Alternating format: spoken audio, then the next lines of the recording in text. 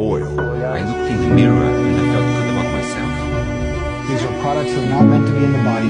Two doctors are on a mission to stop this lethal craze. It's becoming such a big problem around the world.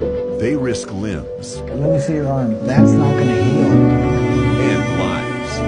I told him, you stop or I'm leaving. She said, I'm going to leave you because I don't want to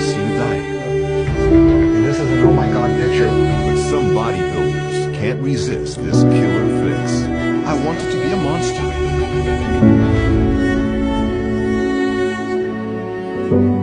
It's now Valgier's turn to get his results. I didn't sleep well last night.